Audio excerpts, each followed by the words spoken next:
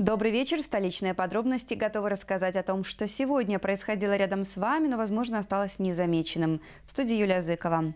Подземный налет. Столичные правоохранители ищут троих хулиганов, которые напали на 17-летнего школьника на станции метро Площадь Победы. Камеры видеонаблюдения зафиксировали, как дебоширы с кулаками набросились на парня, а один из них даже укусил подростка за ногу. Услышав, как диспетчер по громкой связи вызывает сотрудника милиции, злоумышленники скрылись. В отношении э, данного лица возбуждено уголовное дело по статье хулиганства, э, а молодой человек после данного происшествия обратился в больницу за оказанием медицинской помощи.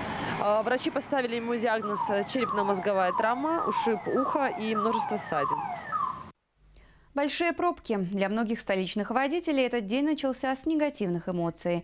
Причина – ремонт проспекта Независимости. Из-за работ на оживленной магистрали образовался внушительный затор. Дорожники просят автовладельцев правильно понять ситуацию, ведь скоро на этом участке будет надежное и качественное покрытие. Наш дежурный по городу Дарья Шафаренко посмотрела на работу строителей со стороны.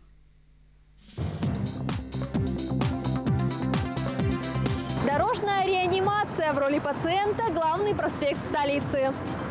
Чтобы провести качественную операцию на магистрали, специалисты трудятся, не покладая рук. Асфальт на этом участке укладывают в три слоя – песок, щебень и битум. Секрет дорожных лекарей. У нас работает фреза самое главное.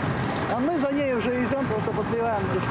Уже скоро водители смогут проехать по свежему асфальту и оценить новое покрытие. А пока автомобилистам стоит помнить про эпицентры дорожного ремонта при выборе маршрута. Большое дело маленькими руками. Воспитанники 553-го детского сада научились мастерству ландшафтного дизайна. Малыши вместе с профессионалами природного оформления смогли превратить заурядный участок земли в прекрасный оазис. Цветочное декорирование, стрижка кустов и восстановление тропы здоровья. И все за пару часов. Рецепт наведения красоты под небом прост. 38 кустарников и около 70 многолетников. Плюс старание каждого ребенка и взрослого. При небольших, небольших совсем материальных затратах и профессиональном подходе, и в таком душевном участии можно сделать этот садик для их детей, ну, настоящей сказкой. Я первый раз поражал цветы, мне очень понравилось. В моем детском саду теперь будет очень красиво. Идея озеленить территорию возле сада появилась у дизайнеров. Все они члены Ассоциации специалистов ландшафтной индустрии Беларуси. Каламбур на улице Буденного с буквами «Н» в фамилии маршала не смогли разобраться. Если ехать по Долгобродской, можно заметить таблички с вариативным написанием известной фамилии на белорусском языке. Такое сообщение поступило на горячую линию СТВ. На указателе улицы Буденный с одной «Н», а на расписании транспортной остановки уже с двумя.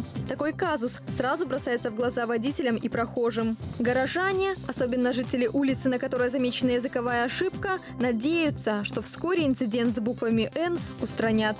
Ваши видео, факты, звонок могут стать поводом для сюжета. Пишите на наш сайт ctv.by. Звоните по телефону горячей линии единица 600 700 и помните, нам важны подробности.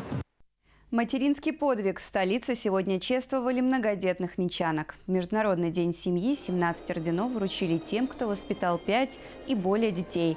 На торжественной церемонии всех гостей праздника ждал творческий сюрприз от самых маленьких минчан и поздравления от военного хора столицы место каждого руководителя сегодня быть на таких мероприятиях для того, чтобы сказать слова благодарности и признательности нашим семьям, нашим матерям. Королев нас просто награждают за наши труды. Чувство восторга, чувство чего-то переполняющего душу.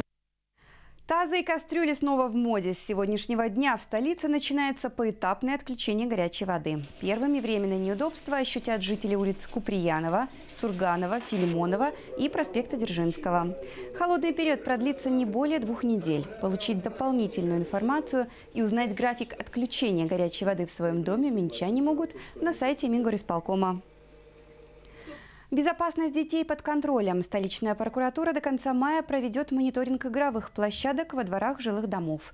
На надежность будет проверена каждая горка, турник и качели. К слову, свои замечания по содержанию и обслуживанию детских площадок могут высказать и горожане. Для этого нужно позвонить в прокуратуру района по месту жительства.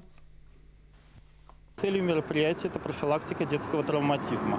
А В ходе проверок прокурорскими работниками будет проверено состояние детских игровых площадок, санитарное и техническое их состояние, а также насколько они безопасны для жизни и здоровья детей. Мы обращаемся к гражданам, у которых есть замечания по содержанию и эксплуатации детских игровых площадок. Обращайтесь в органы прокуратуры по месту жительства, либо по телефону 306 23 91. Самый семейный праздник. Сегодня наши корреспонденты предложили минчанам определить составляющие крепкой и счастливой семьи. Сначала, наверное, надо, чтобы по любви состоялась эта семья. Взаимопонимание – это первое. Прощение обязательно. Ну и доброта, наверное, сама человеческая. Самое главное, это, наверное, любовь. Когда есть любовь в семье, будет и взаимопонимание, будет и помощь, будет всегда поддержка, и тогда будет просто все прекрасно в семье. Каждый день уделять внимание своей семье, своим детям и почаще проводить время вместе. У меня сегодня годовщина супружеской жизни, кстати, в этот же день. Ну, мне кажется, что главное, чтобы супруги, наверное, уступать друг другу умели. Прежде всего, уважение в семье друг к другу, мужа, жены, э, почитание взрослых. Дома никогда не ссориться и всегда выслушивать мнение других. Новые городские подробности завтра в это же время. В студии новостей, которая всегда рядом, работала Юлия Зыкова. Всего доброго и до встречи.